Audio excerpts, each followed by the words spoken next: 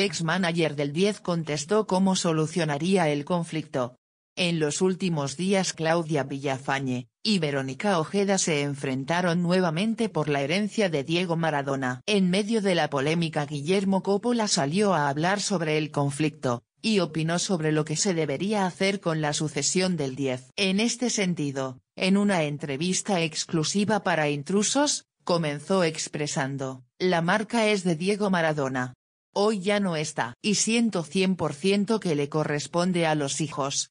Son cinco, entonces le corresponden a los cinco, dejando entrever que ninguno debe quedar afuera. Asimismo, continuó, me tocó vivir los nacimientos, bautismos y cumpleaños de Dalma y Gianina pero hay otros tres hijos que tienen los mismos derechos y opinó que el tema es grave, que a pesar de que las ex esposas se crucen, los herederos son los hijos.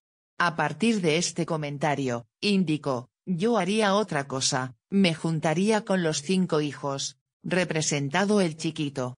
20% cada uno y destacó que Diego Jr. tiene una idea equivocada. Lo conocí siendo muy chiquito en un club de golf, y quedó en claro que no se lleva muy bien. A partir de algunas peleas que habrían tenido los cinco hermanos, sostuvo, sé muchas cosas que vivimos, que él sentía, no puedo hablar de los últimos años porque yo no estuve. Ya está, Diego no está. Los derechos le corresponden a sus hijos, reiteró.